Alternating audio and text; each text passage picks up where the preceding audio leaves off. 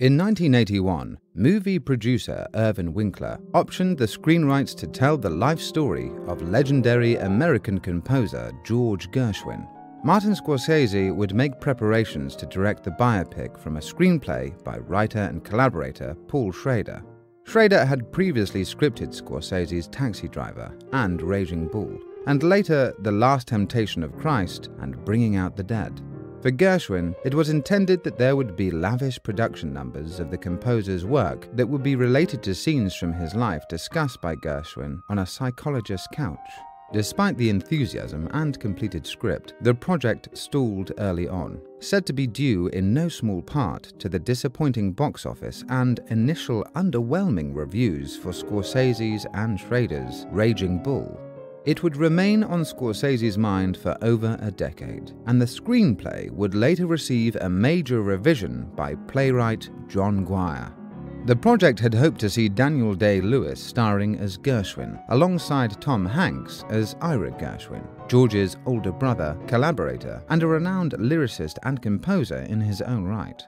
After work on the final draft was completed and handed in, then Warner Brothers chief, Terry Semel, refused to believe that there was a sufficient enough modern interest in the life of Gershwin to greenlight a lavish musical. Scorsese was disappointed with the decision, having lived with the idea for so long, and would say, I had worked on a script with Irwin Winkler. Paul Schrader was first, and then John Guare on the subject of Gershwin for many years. That was the first film I owed Warner Brothers. It's a complicated issue. Ultimately, when it was time to do Gershwin, they turned to me and said, We'd rather have one on Dean Martin. I said, The thing is, the Gershwin script is done. Excuse me, I'm just saying, it's been since 1981 I've been working on it. They said, No, no, no, no. I understood. They wanted something from the swinging early 60s, late 50s Vegas like Ocean's Eleven, the original Ocean's Eleven. Screenwriter Nicholas Pileggi spoke to Variety, saying his own dream cast would include Tom Hanks as Martin, John Travolta as Sinatra, Hugh Grant as Lawford, Adam Sandler as Bishop, and Jim Carrey as Jerry Lewis. Hanks was the first star to be cast in the title role, Hanks had previously portrayed Martin for laughs in a 1990 Saturday Night Live sketch, singing a duet with Carl Sagan, as played by Mike Myers. Hanks was already known as a big fan of Dean Martin and would speak of his admiration to the BBC. Right, Dean Martin was the epitome of adult smoothness. Grown ups uh, in my life were divided into two very distinctive camps. The bigger camp was Frank Sinatra. The smaller camp was Dean Martin. And his television show in the United States was him in a tuxedo in a groovy apartment, chatting with people over a piano, and hearing Relaxez-Vous for the first time with Line Renaud. There's a line in here that is the most unhip lyric I have ever heard in any song everywhere, which is Let's put on our sneakers and slacks and Relaxez-Vous. There's nothing more incongruous. Dean Martin doesn't talk about sneakers and slacks, but you could just see him there saying, Hey, I don't care what the line is. Let's just lay it down and record the thing. Put on your sneakers and slacks and Relaxez-Vous. Nicholas Pileggi's script was in large part based on Nick Tosches 1992 Dean Martin biopic, Dino living high in the dirty business of dreams.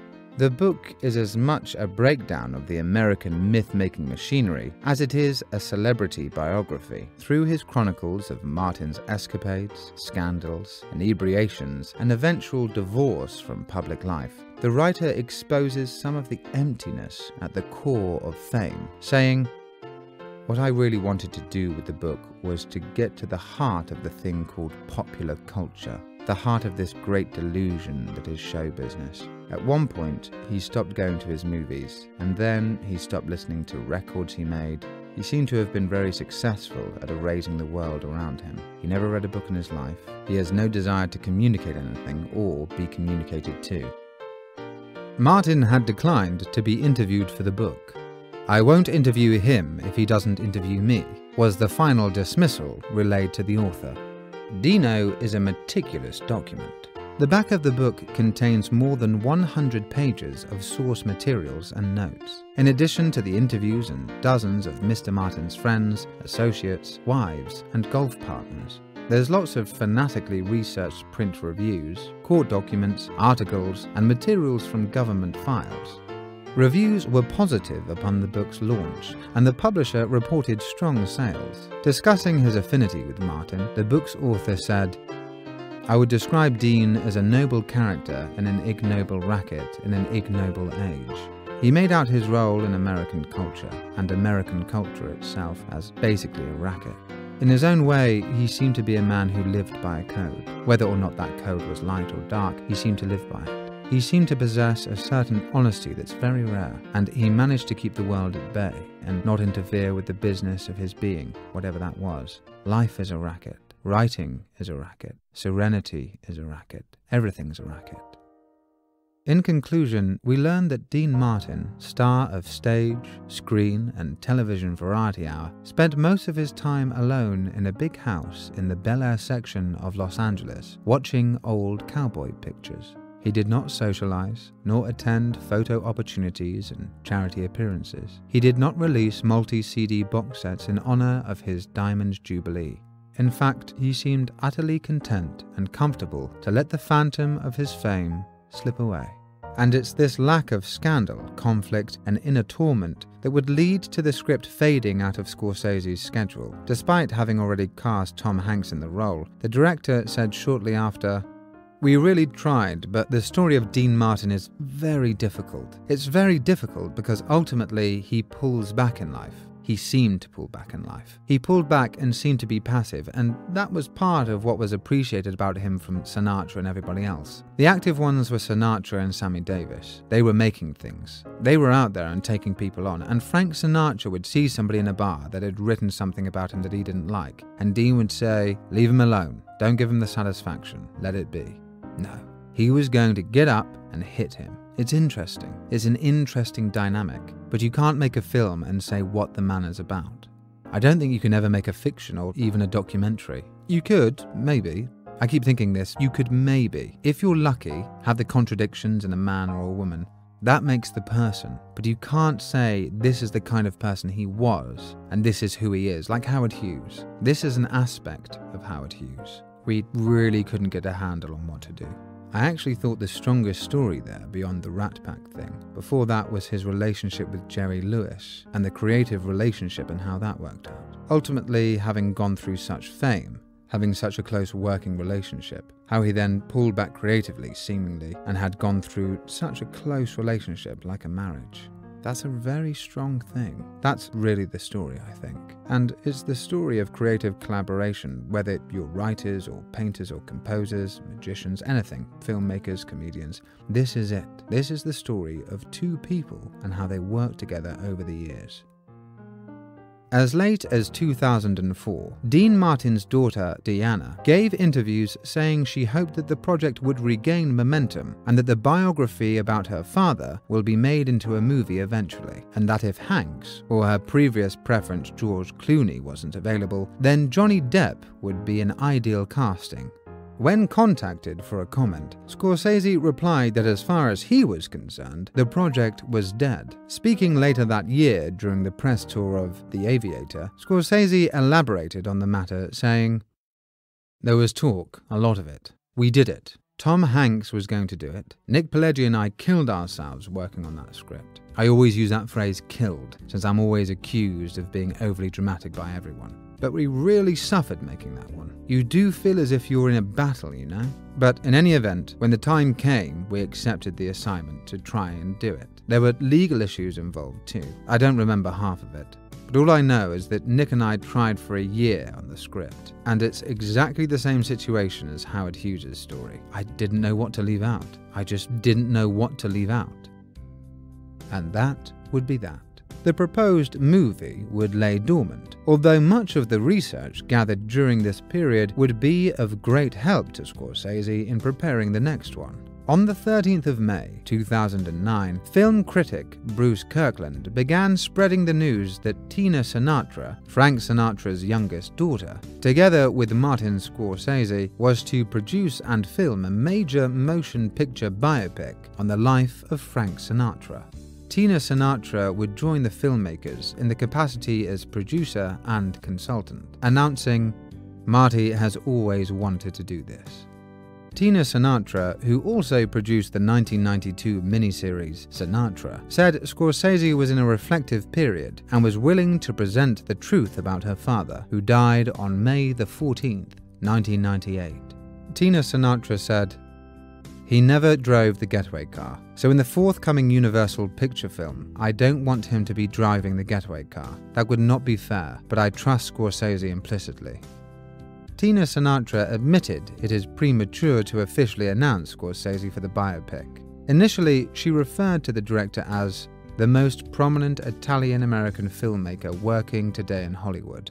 Official confirmation swiftly followed, reading, Universal Pictures acquiring of Sinatra after commissioning a script by Field of Dreams. Screenwriter Phil Alden Robinson came after years of negotiations with Frank Sinatra Enterprises, a joint venture of the Crooners Estate and Warner Music Group.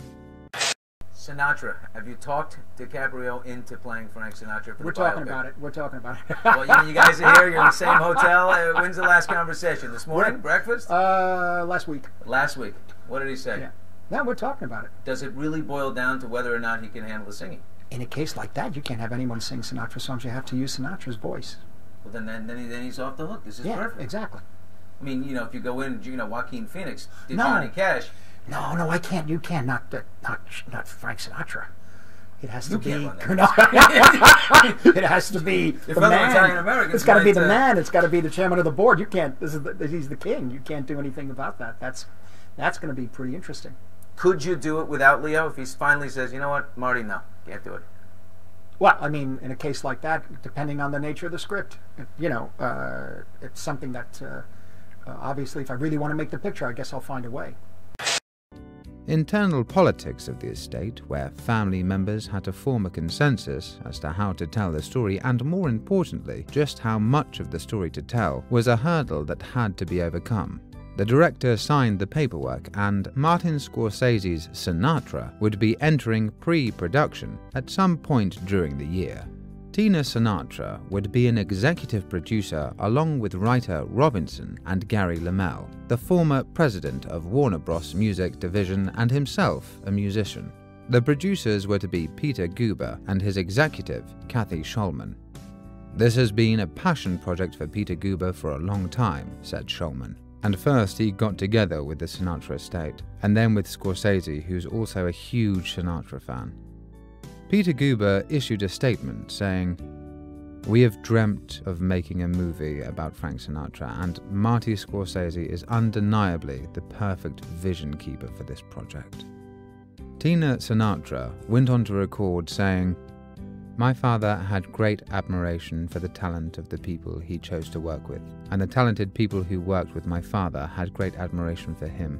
It is personally pleasing to me that this paradigm continues with Martin Scorsese at the helm of the Sinatra film. The new producer said this movie wouldn't be another Goodfellas or Casino, and that the legendary singer actor who allegedly socialized with crime figures would be shown as innocent of any true involvement with the mafia or other gangsters that Scorsese's film would finally put to bed those scurrilous rumours. Scorsese was initially bombarded by speculations on who should, would, and could be cast in the main roles.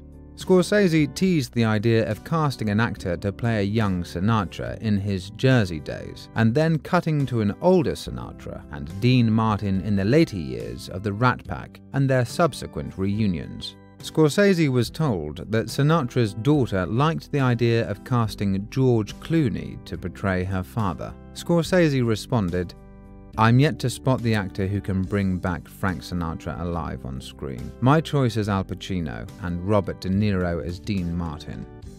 As the time period the screenplay would cover began to expand, Leonardo DiCaprio started to seem the likely choice. Hollywood insiders printed that DiCaprio had been attached from the start and Scorsese wouldn't commit without the actor's participation.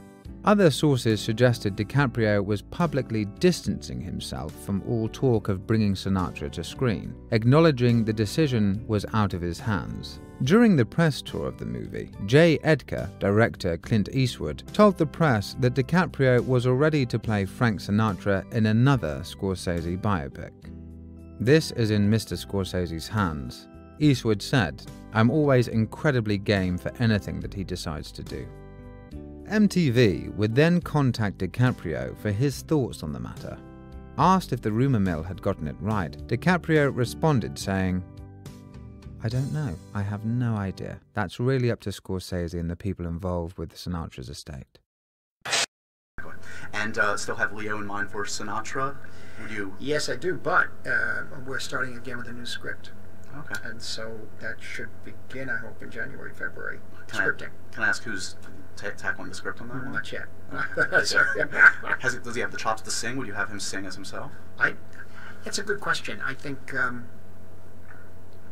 uh, I think I don't know. I, I think that there's no one that could. I mean, how do you? Yeah, no one that could do that. You wouldn't accept it. I think. I think it has to be recorded. Yeah. The recorded music. That would be my first instinct. Gotcha. And how to make that work without just looking like lip syncing scenes. Right. Right. You know how to shoot it. Right. You know to make it. Uh, to you know it's Sinatra's voice, and you know it isn't him up there, at that moment. Yet it's interesting narratively. Uh, you buy whatever's happening there. You know what I'm saying? Right.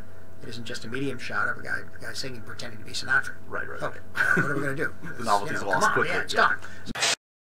DiCaprio was asked if he had the vocal chops to pull off the iconic role. He replied, Oh, I can sing like Sinatra, man, definitely.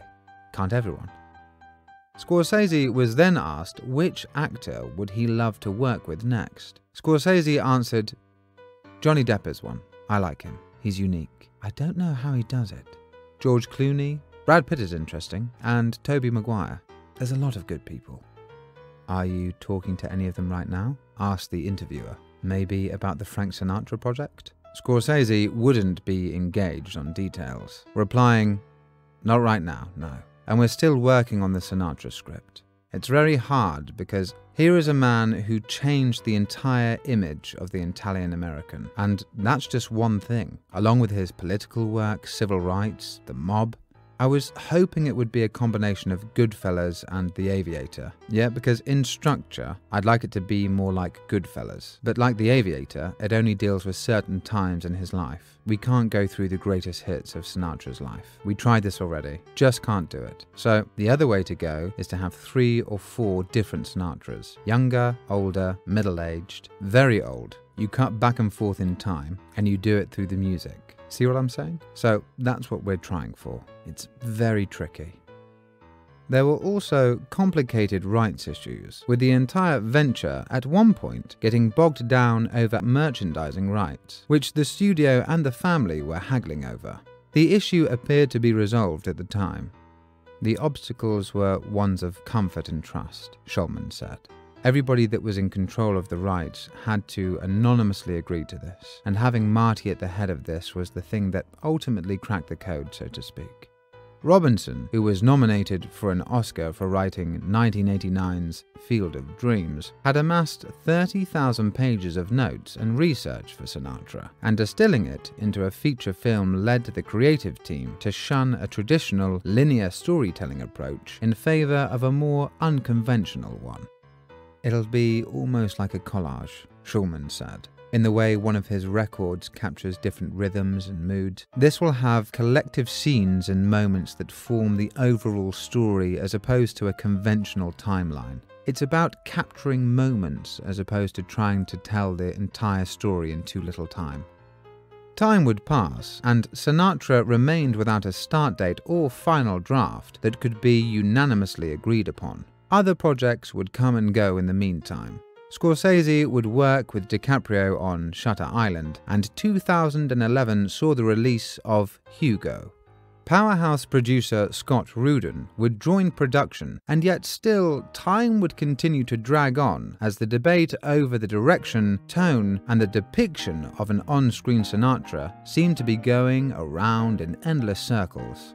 Universal Pictures hired state of play writer Billy Ray to revise a fresh Sinatra script in 2012. Ray had recently worked on the script for The Hunger Games and Paul Greengrass's Captain Phillips and was eager to take the screenplay to the next level it needed to be at to hopefully, finally, get made. Scorsese was now off making The Wolf of Wall Street. A new script was soon handed in, but the old sticking point still remained. How exactly would Scorsese tell the story he wanted to tell, with the inclusion and exploration of the actual man, of Sinatra's darker side, as well as tell the story that would appease his daughters, and instead exclusively present an old blue eyes as seen and heard on stage by his untold millions of fans, and as remembered by his family?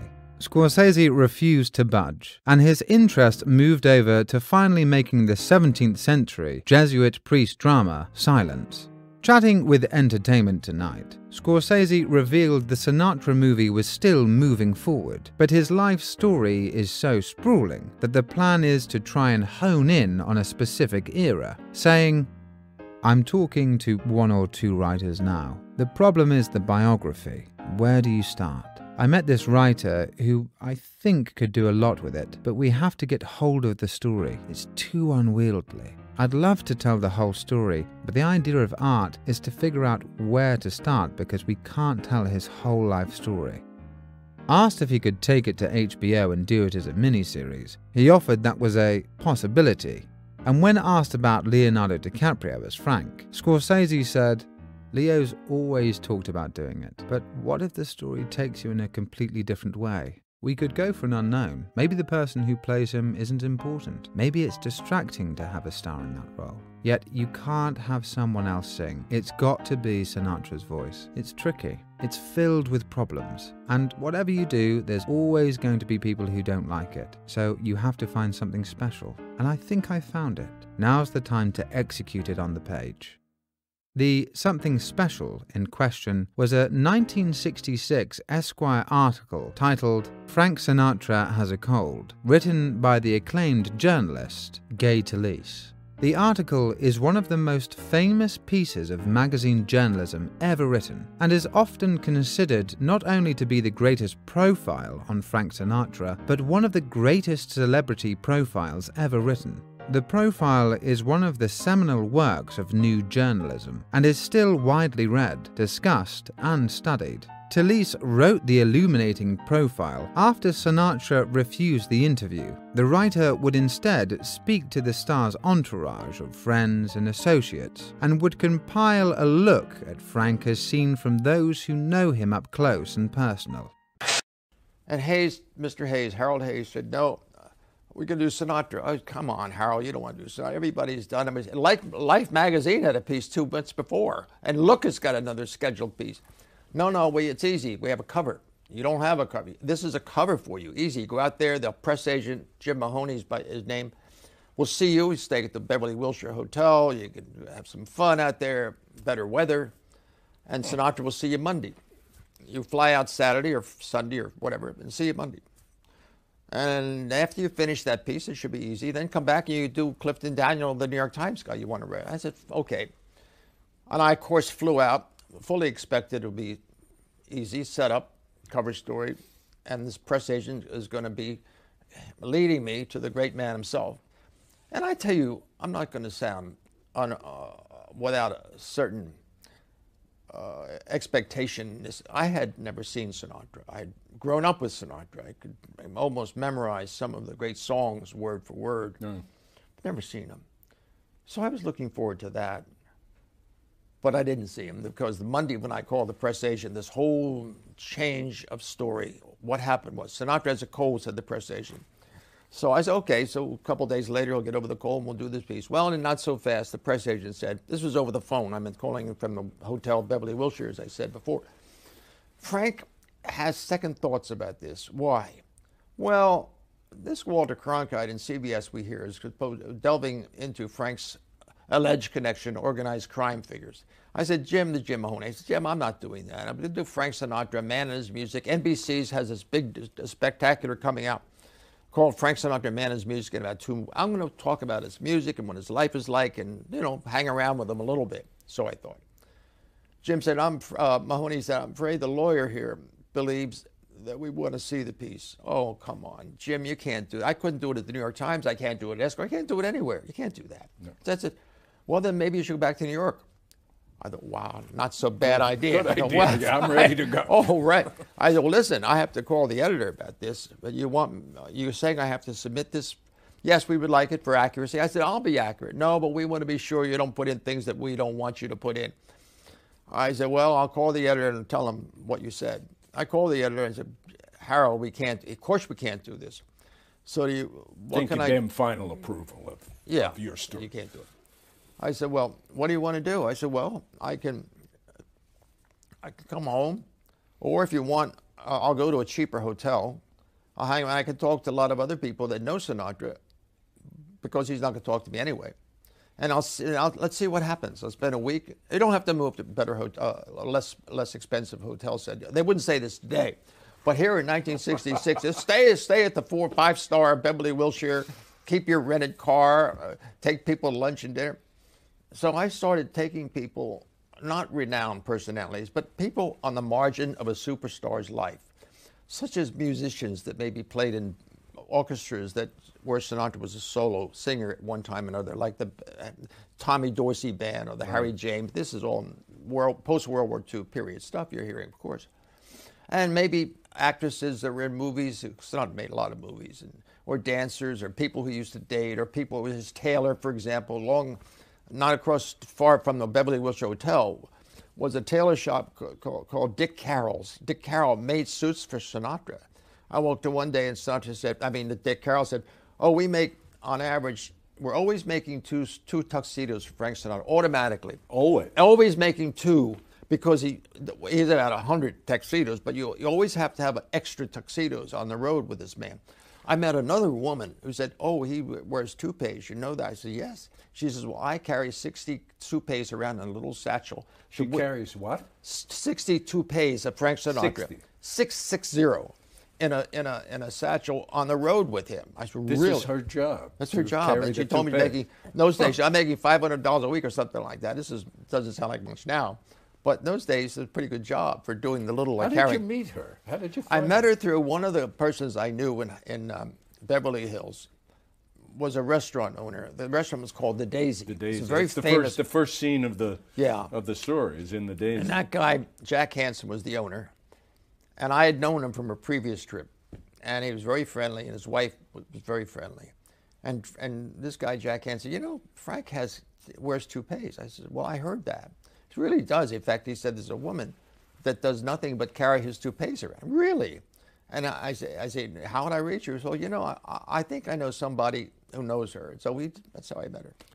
The profile begins with Sinatra in a sullen mood at a private Hollywood club. Stressed about all the events in his life, Sinatra and many of his staff are in poor mood because Sinatra is afflicted by the common cold, hampering his ability to sing. The significance of the cold is expressed by Talese in one of the story's most famous passages. Sinatra with a cold is Picasso without paint, Ferrari without fuel, only worse. For the common cold robs Sinatra of that uninsurable jewel, his voice, cutting into the core of his confidence, and it affects not only his own psyche, but also seems to cause a kind of psychosomatic nasal drip within dozens of people who work for him, drink with him, love him, depend on him for their own welfare and stability. A Sinatra with a cold can, in a small way, send vibrations through the entertainment industry and beyond, as surely as a President of the United States, suddenly sick, can shake the national economy. The Sinatra estate purchased the rights to the article, and writer Michael Chabon was then hired and brought on board to adapt and expand the piece into a whole new draft. The production now hoped that this new angle would finally get the project kick-started. Frank Sinatra Has a Cold is not quite a rose tinted view of Sinatra, but it gives us much insight into the sort of moments the filmmakers were hoping to capture and the elements of Sinatra's private life that could lend themselves to dramatic on screen conflict. While Sinatra was near the heights of his fame in the 1960s, the world of music was changing. The arrivals of bands like the Beatles and the accompanying culture change was threatening to Sinatra. One key moment in the article, and one that would no doubt become an unintentionally and absurdly comic set piece in the final screenplay, is the scene with the writer Harlan Ellison, who is wearing game warden boots, corduroy slacks, a Shetland sweater, and a tan suede jacket in a club. Sinatra confronts and insults Ellison about his clothing. After Ellison is cajoled into leaving the room, Sinatra tells the assistant manager, I don't want anybody in here without coats and ties. we had this uh, this really ugly scene in which I wound up laying out his bodyguard with a pool cue. Sinatra shows up with a coterie, and the room was filled. It was a Friday or a Saturday night, and everybody was anybody was in, was in town, and they, they go to the Daisy because it was the inn club. I had gotten into it. I was destitute, but I had finessed my way into a membership, which is another story that involves Aaron Spelling, but we won't go into that story because it takes it too far back. And he comes in. Now this is in the height of the Carnaby Street dressing, and I'm wearing, and I still got them, a pair of soft deer uh, uh, uh, deer stalker boots that like Robin Hood they come up and they fold over really handsome soft brown leather and in walks Sinatra who is dressed like a Kansas City hitman the black the black suit the narrow uh, wingtip shoes the little the little black uh, uh, hanging judge tie and and the white on white mafioso shirt. And in with him comes a bunch of other people all of whom are in his thrall. So uh, I'm shooting pool with uh, with Leo Durocher and Omar. In comes uh, old Blue Eyes, and I had always adored him. I mean, I loved his music for Christ's sake. I grew up on Sinatra. How can you not love it?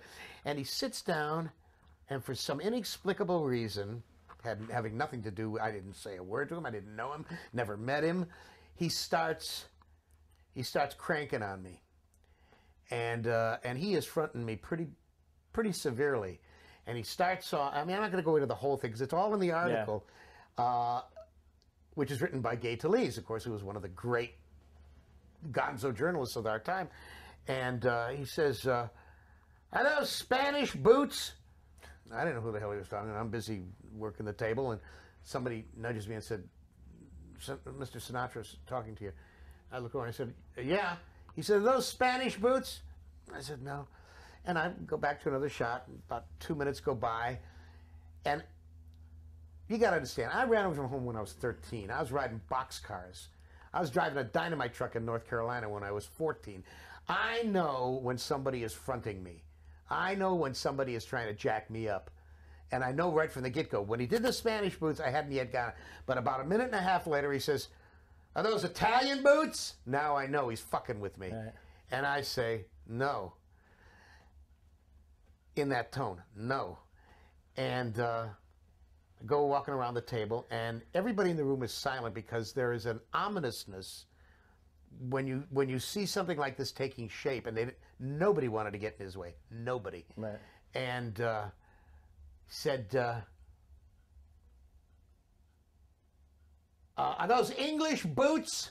And they were. And I said, Why are you talking to me? Do we know each other?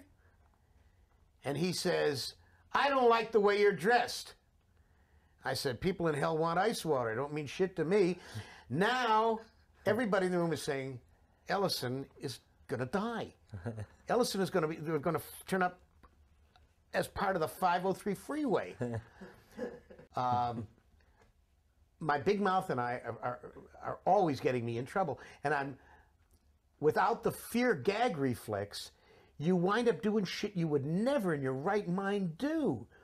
So here I am talking back to fucking Frank Sinatra. and uh, who who I know has hired guys to beat the crap out of other guys, or he can get me killed at the studio, and and it goes on and on and on and on and on and on and on, with him making remarks, and then he asks, he says, uh, he says, what do you do? Well, I said, uh, I'm a plumber. Jimmy Boyd says to Sinatra, he's not a plumber. He's a movie writer. He wrote the Oscar. Well, the Oscar had just finished shooting, and Sinatra had a role in it. And uh, Sinatra, he, had a, he had a guest cameo. So Sinatra says, Well, I've seen it. It's a piece of shit. And I said, Well, it takes shit to know shit. And I said, um, Since the movie hasn't been released, it's kind of amusing to me that you've seen it already, but you're in it. So you're shit and shit. And what do you think of that? Well, he starts to get off the chair, but he wouldn't fight me on his own.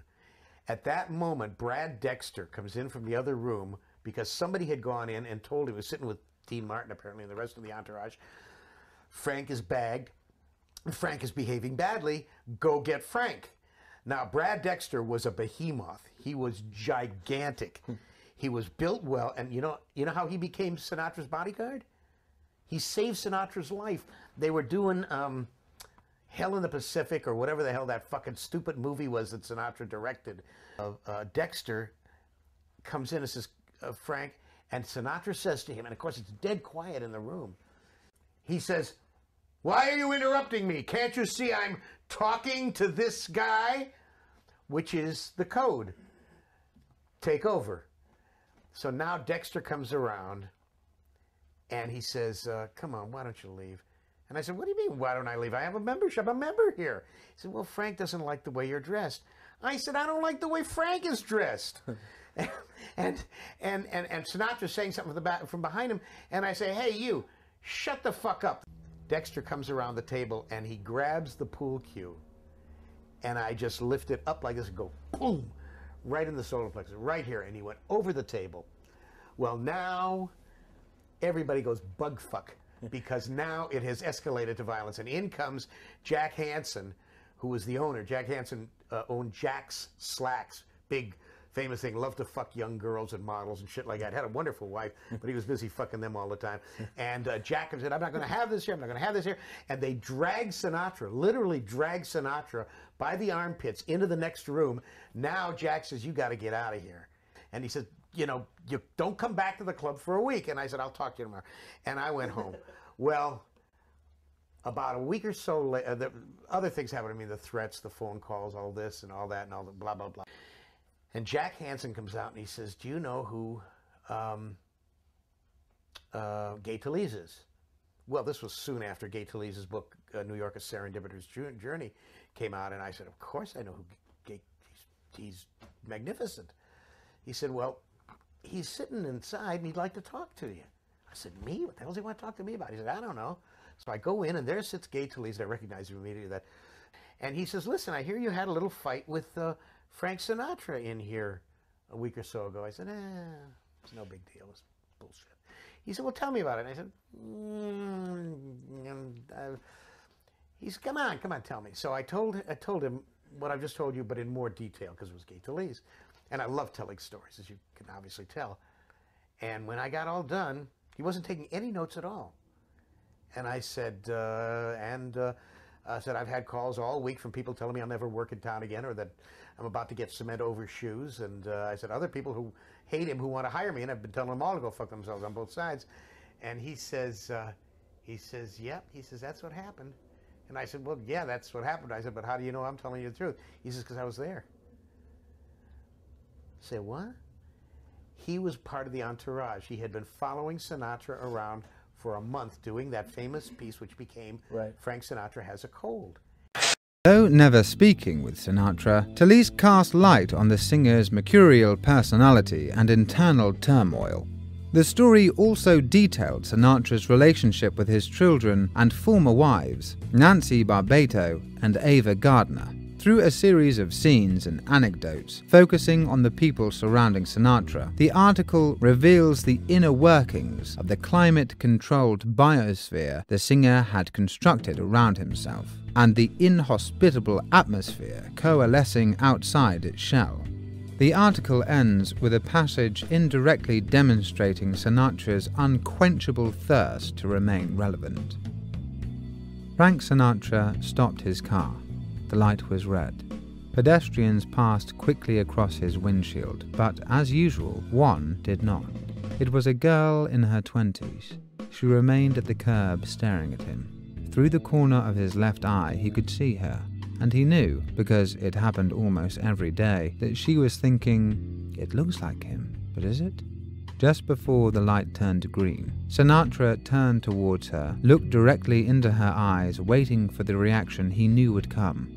It came, and he smiled. She smiled, and he was gone.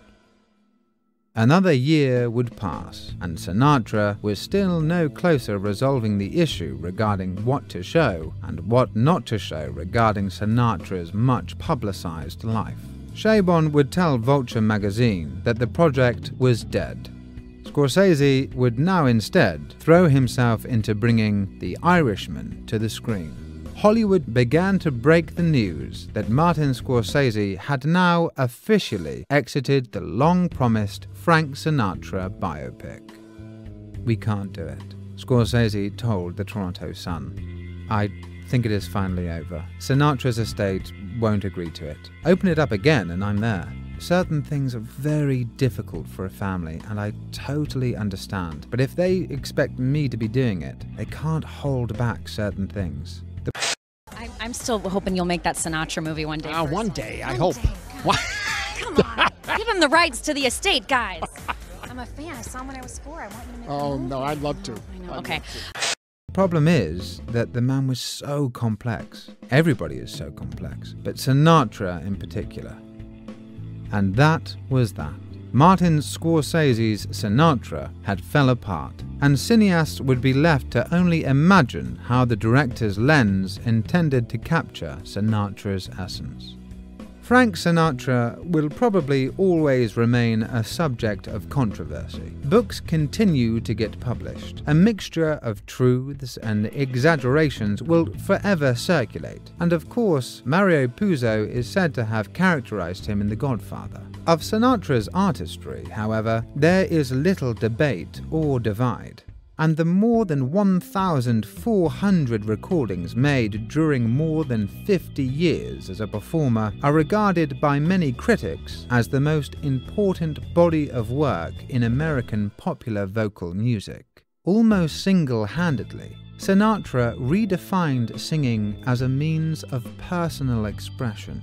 In the words of critic Gene Lees, Sinatra learned how to make a sophisticated craft sound as natural as an intimate conversation or personal confession. Beneath the myth and the swagger lay an instinctive musical genius and consummate entertainer. Through his life and his art, he transcended the status of mere icon to become one of the most recognizable symbols of American culture. And it's very fair to suggest that the Rat Pack helped make Vegas what it was. It's all gone now. In 1996, they demolished the Sands to make way for yet another mega resort. As for Scorsese, both Sinatra and Dino take their place on an endless list of unrealized Martin Scorsese projects that include unmade biopics of George Washington, Theodore Roosevelt, George Harrison, Mike Tyson, serial killer Dr. Henry Howard Holmes, the tragic 20th century painter Amodego Modigliani, and the Ramones. Thankfully, when it comes to a legendary director and rightfully idolized master of cinema like Scorsese, for every film that doesn't get made, there's always one that does. Currently showing no signs of slowing down the pace, the director is currently producing some of the greatest work of his career, and one generation after the next continues to discover his work. Here's hoping it may long continue. Thanks for listening.